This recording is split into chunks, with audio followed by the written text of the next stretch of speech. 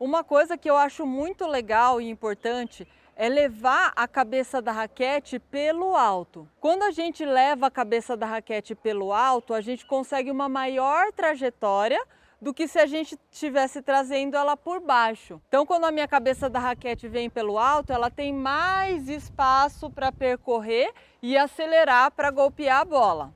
Quando a gente prepara com a cabeça da raquete pelo alto, a gente consegue fazer aquele desenho de um semicírculo.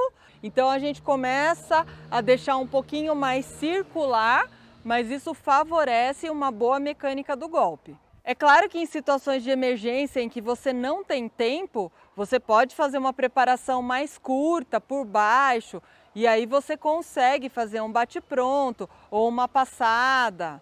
Enfim, um golpe de emergência em que você não tem tempo.